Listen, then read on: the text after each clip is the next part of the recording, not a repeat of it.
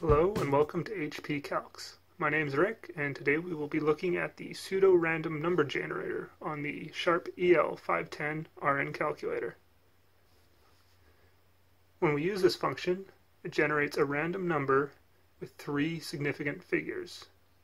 To do this, we hit the second function followed by the 7 key so that we see the word random on the screen. We then hit the equal sign and a random 3 sig fig decimal appears on our screen. We can then hit the equal sign again and a new random number will appear.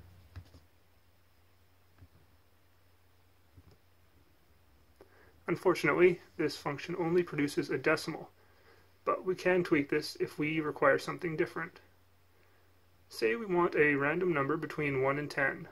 We could generate our decimal and multiply it by 10 and round accordingly. Here we have 4. Alright, I hope this helps and good luck on those tests.